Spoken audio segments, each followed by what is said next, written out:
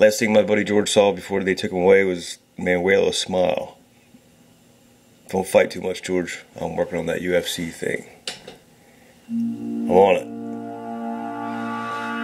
He's like Chuck Liddell, only not as pretty.